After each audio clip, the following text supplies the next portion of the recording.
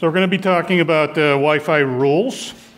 And when we talk about rules, I'm talking about guidelines, um, best practices, the stuff that makes the CWNA book about this thick, right? There's lots and lots of them.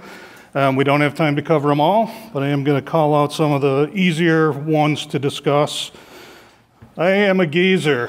I've been doing Wi-Fi for 20 plus years, big and small networks, um, design, implementation, support. I mention it because that's where my frame of reference comes from and what we're about to talk about. and I will say, please accommodate me. You all have a part in this presentation. When you see the words, unless you can't, say it with me. Quick practice, unless you can't. Wake up, come on. So, again, we're going to talk about some of the easier ones that are uh, worth pulling out into the light of day to make the point. Always stay out of the hallways. Thank you. And when we talk about hallways, in the, the context is down the hallway designs, right? Uh, the dreaded, you know, it can't work. I've actually heard people say, it can't work, pound the table. Uh, there's no way it can work. Well, actually, it can. Um, you might probably not want to set out to do that, but sometimes you have no choice. Sometimes you inherit it and you're stuck with it. Yes, it can work. The keys to making it work are you taking over the radios. You don't rely on RRM, you understand what happens when the APs are very close to each other, and you override that. And then you test, and you monitor over time as clients change, but absolutely it can work. I have thousands of people, more than I wish I had, running on hallway designs right now for a number of reasons, but absolutely you can break that rule and it will work. Understand your client devices. Unless you can't. Boy, wouldn't it be nice to have ultimate control over what comes on the or what comes on the wireless?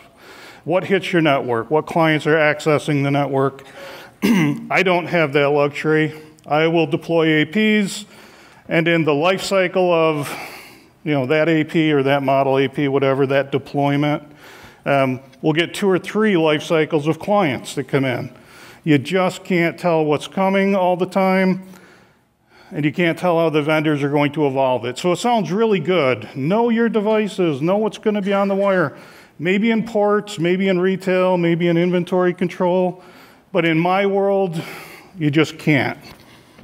Now, what I can do is understand what I want out of my wireless network, what the most important things for my users are out of the wireless network. Generally, it can be summarized as good performance, stability, right? So as new devices come along and somebody says, hey, can I put this on the network? Uh, let me see what we can do. Yes, that'll work, and here's why. That's not a great fit, and, and here's why. And maybe things like MDNS or whatever, it's like, no, no, no, no, no. Um, so knowing what the network is set up to do, knowing how you're willing to flex the network, that will help you to put the client devices into perspective because I'm saying that's a rule that, at least for me, the know your devices, it just really uh, can't be done, at least generally. Install antennas in the best location for coverage. Yay. Let's do another. Use the best antenna for the scenario. Unless you can, you guys are lame. but thank you for your lameness. It's better than nothing. Uh, un unless, unless you can't. Um, whether we're talking about the type of antenna or where to put the antenna, you know, maybe it would be perfect right there, but to get it right there, it's $2,000 worth of permitting, it's $15,000 worth of pathway, and the architect has a real problem with the way it's going to look. It's like all the common sense factors that apply to the scenario say, boy, you know, I, I would love to put it there, but I'm going to have to do something different.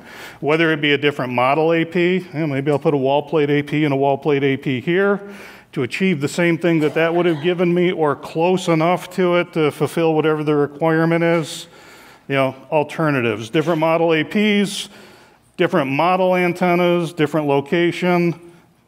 But these are things that require skills, right? You absolutely can get away with not doing what's perfect when it comes to device placement and the antennas you use on those devices, but you have to be able to still fulfill the, the needs of this, this situation. Excuse me, losing my device or losing my voice. Always do a post-install survey. Am I the only one who can't do this on occasion? I will have spaces that the installers can't get into the last minute. Those installers get in, they do their thing, and literally hours later, people are moving in, and we have to be out of there, right? So common sense says, oh, geez, you're, you're filling a new space with wireless. You better get in there and see how you did. Okay, after 20 years of doing this, I'm saying, controversial statement coming up. I'm saying good design and a history of good design and knowing what you're doing I don't want to say it negates the need for a post install survey, but it goes a long way to helping. You don't need to get in there and walk every square inch. I'll also say that the systems that we spend a lot of money on, the uh, network management systems, they give you a lot of data. I love data, I love statistics. You should be able to get into that dashboard, see all kinds of data that also validates, without you walking around, it's looking at things differently. It's a different perspective on whether that design is working or not. And you might have to augment it with spot checks, and I recommend augmenting it with spot checks. but you can actually put out wireless and not do a post install survey if the situation doesn't let you get back in and it's not the end of the world if you did good design. Never reuse a previous design. Again, controversial to say horse pucky, right? And some of this comes down to what do you do for a living? If I sell wireless designs, I have a different outlook on this than if I am in my position where I have to look at the previous one. How good is it serving? Was it done well to begin with? I can run a bunch of reports and see I, do I have APs that are just getting hundreds of clients? Well, if so, I probably have to at least do ads. Now, I'm not saying don't change the design, don't augment the design, but what I am saying is you don't have to scrap the previous design in all cases. I'm going through a cycle right now where,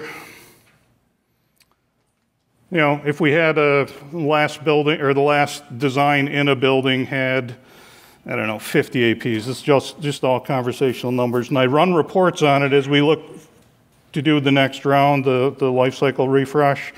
I might have to add none. I might have to add two. I might have to add 15, depending on the building.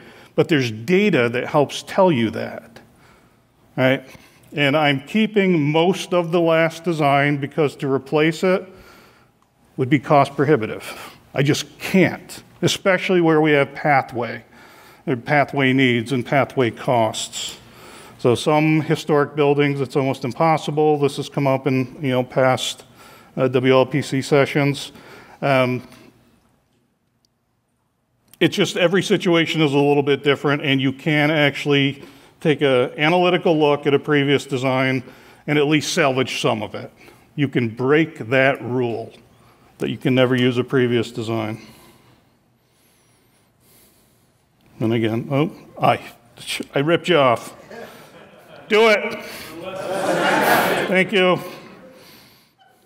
Or if it was a great design. And again, some designs are perfectly reusable, believe it or not, and it's going to be in the more dense situations.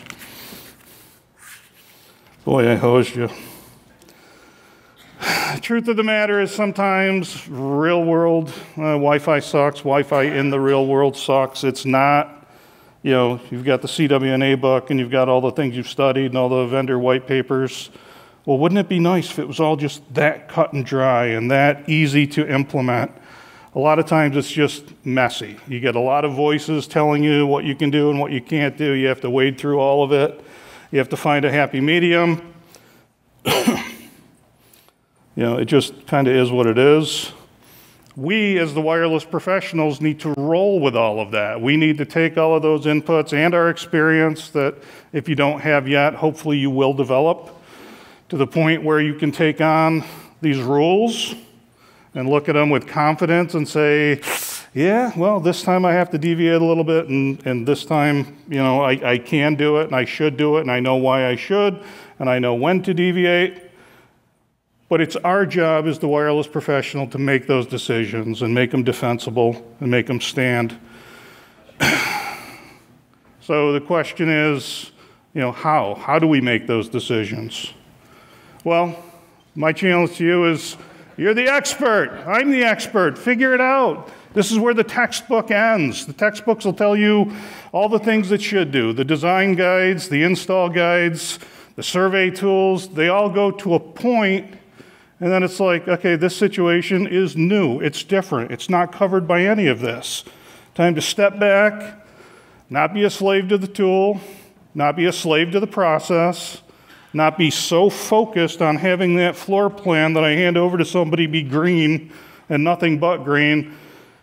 You got to decouple and actually figure out what it is that you're trying to do and how to get there. And again, the what is it that you're trying to do? Performance, stability. And again, the books and the, the tech literature kind of goes so far, and then it's like, oh, geez, I'm off the reservation. Now what do I do? You figure it out. You absolutely figure it out because that's your job. There is always another way. Hopefully, it's a better way. Hopefully, it's an alternative way. Hopefully, it is a way that takes you to where you need to be, again, stability and performance. It may not be what you started off thinking you could do because you walk into a situation and things change, right? And we, the professional, have to, we, the professionals, have to be uh, sophisticated enough and critical enough in our thoughts to be able to recognize what needs to happen and how to veer off and, and do the, the other thing that we would rather uh, not do if things were perfect. But the bottom line in red there, the requirements. That's what we're aiming for, right? That's the prize, the eyes on the prize saying, that is the prize. What were the requirements? Yes, I didn't do it exactly the way I thought I was going to do it. Did I meet requirements? If I did, I guess the rules weren't all that important. All right? That's all I got.